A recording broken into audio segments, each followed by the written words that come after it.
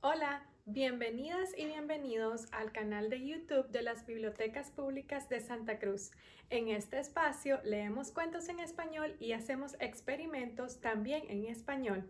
Estos experimentos son sencillos y lo pueden realizar con sus familias y con artículos que tienen en su hogar. El día de hoy vamos a ver cómo la lluvia cae de las nubes hacia la superficie. Necesitaremos una jarra de vidrio transparente,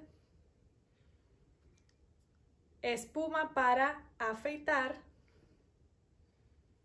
y colorante. Yo voy a utilizar colorante de comida azul. Vamos a ver cómo el agua que va a estar representada por el colorante, se vuelve pesada y densa en las nubes y por la fuerza de la gravedad empieza a caer hacia la superficie. Bueno, ¿están listos? ¡Vamos! Aquí tenemos los materiales para realizar nuestro experimento. Tengo una jarra de vidrio transparente con agua, espuma para afeitar y colorante. Vamos a utilizar la espuma para representar las nubes y el colorante para representar la lluvia. El colorante es más pesado y más denso que la espuma, de la misma forma en que el agua de lluvia es más pesada que las nubes. Por esta razón empieza a descender debido a la fuerza de gravedad. Vamos a hacer nuestra nube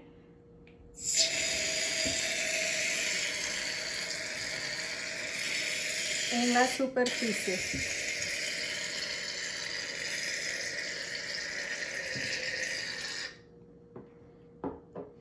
Y ahora a utilizar el colorante para que forme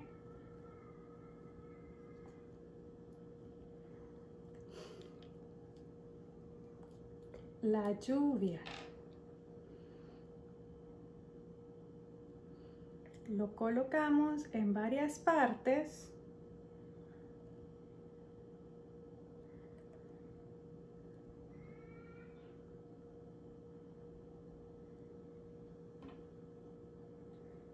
Y ahora esperamos que descienda hacia la superficie, hacia abajo, donde se encuentra el agua, debido a la gravedad.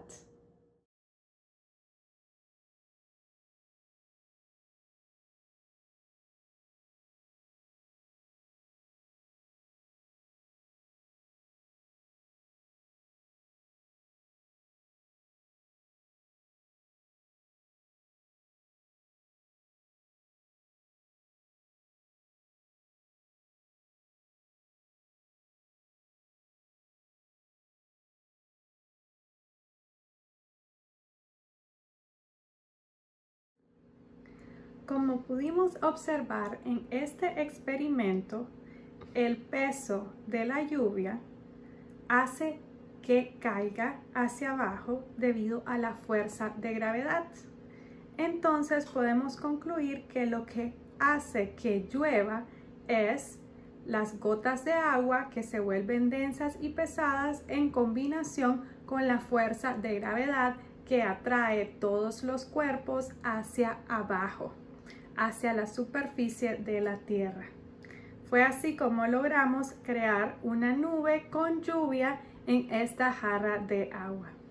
Muchas gracias por ver este video. Los invitamos a ver los otros videos en español de este canal y a participar con nosotros en la hora de cuentos en español todos los lunes a las cinco y media. Recuerden que se llama Cuéntame un cuento.